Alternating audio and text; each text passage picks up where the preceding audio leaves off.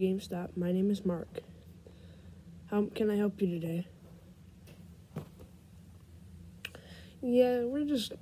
I don't know. GameStop is gonna close in like a week, I think. And well, I mean, GameStop isn't doing too well, you know, um, because we we. I don't know. We're just not getting a lot of customers. You know, bad reviews. I I I, I I'm saying like hey, who would want a bad review on GameStop?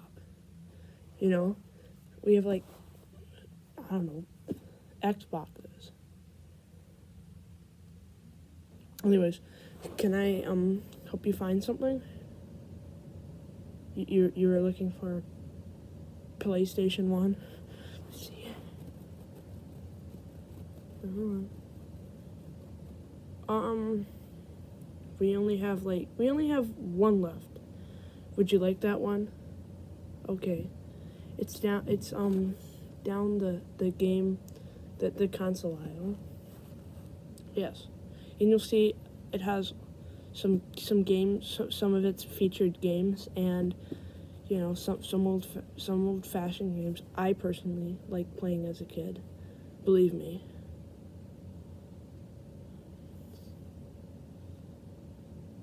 So it's right down there. Alright, I'll be waiting right here.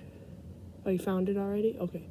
Um, so that's eight, you know, that's like, I'd say $30 for that.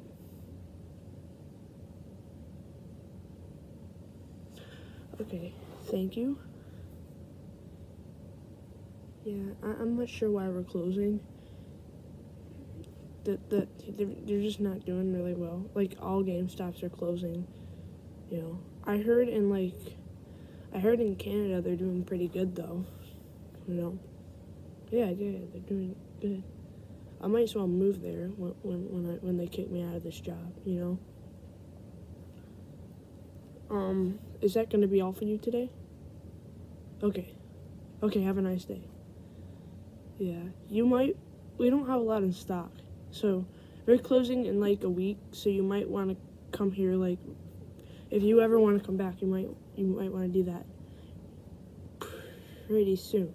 You might want to do it as soon as possible because we're we're gonna be like closing in a in a in, in like a week.